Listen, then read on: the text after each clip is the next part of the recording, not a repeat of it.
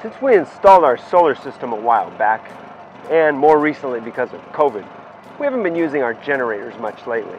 And shame on me, I may have let them sit with fuel in the tanks uh, maybe a little longer than I should have.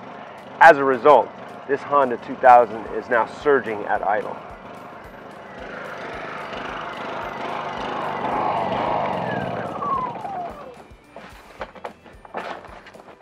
Now, I'm no small engine tech, or even close, but it's clear from doing a little research, this just might be a DIY fix.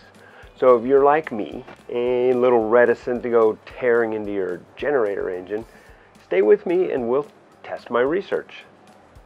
We'll need just a few tools for this procedure, a 5 16 inch socket, flathead screwdriver, Phillips head screwdriver, needle nose pliers, a small piece of wire, carburetor cleaner, and compressed air. First we'll remove the engine cover, then the air cleaner cover and air cleaner assembly.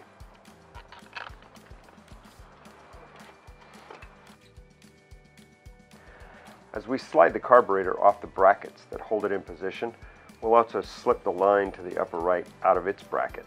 Now we're getting to the meat of the problem. This little part right here is the jet and likely that jet is clogged and cleaning it will fix our problem. But to get to that, we have to remove this idle adjust screw. But don't just back it up.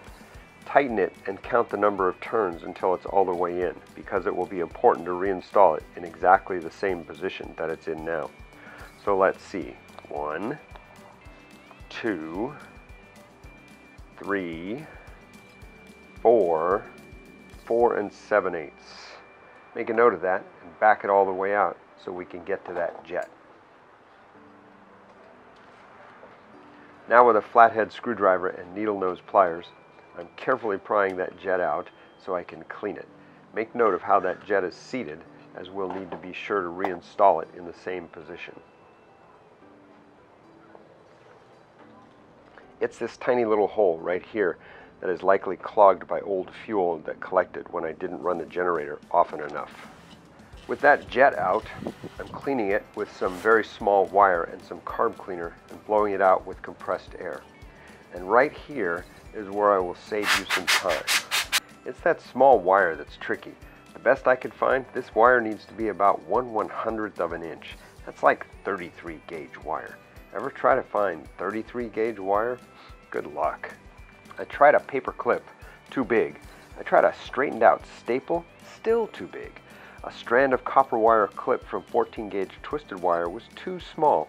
It went right through the hole with no resistance. Then I found a wire brush and clipped a bristle and it was just right. With the jet cleaned, we'll go ahead and reassemble. The only trick here is getting the jet seated just the way it was. The flat sides on the head of the jet will tell you how to orient that as you slide it back in the tube. Then I used a flathead screwdriver to press it down. The idle adjust screw goes in next, and if it doesn't easily fit into its space, the jet may not be seated far enough into its tube. This is where the idle adjust screw goes all the way in then we back it out by the number of turns we noted earlier.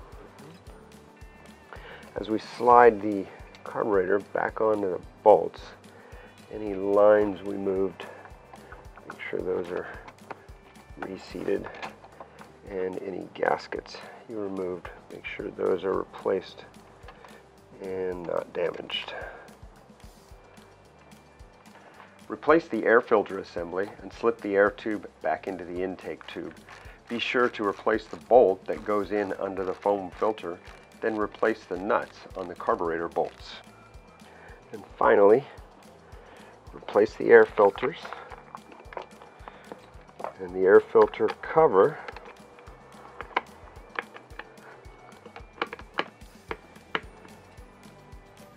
and fire it up.